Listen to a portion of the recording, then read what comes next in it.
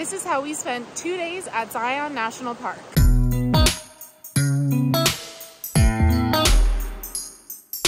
We had a pretty short first day in Zion. Our first stop was Checkerboard Mesa Viewpoint.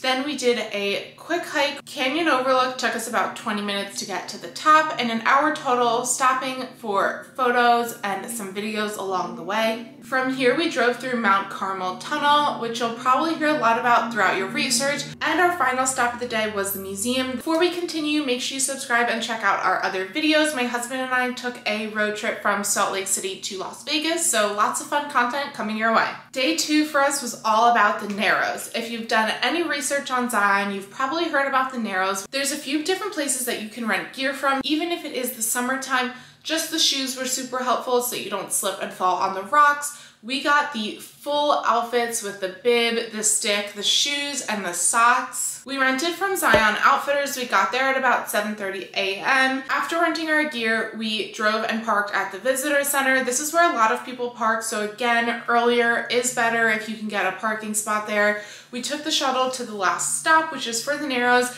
It says it's about a 45 minute drive. I'd say it was about 30 minutes depending on how much the bus stops. Something I did not know about is that once you get off the bus, it's about a mile walk to actually get to the Narrows. So just something to keep in mind and be prepared for. I really did not think we were gonna hike in the Narrows for that long. In my mind, we were gonna do 30 minutes up, 30 minutes back for an hour total, but we wound up hiking for four hours total. It took us about two hours to get to Orderville Gulch, which is where the river splits, and then we turned around and went back. The highest the water got for us was chest deep. It did not go in our waders luckily, or I think I would have been absolutely freezing cold. I forgot to mention earlier, but it was $118 for both of us to rent the gear. We would have been absolutely miserable. There were a few people there without gear, and you could just tell they were so unprepared and they did not last that long. We did have another hike planned on day two, but since we hiked the Narrows for so long, we wound up skipping it,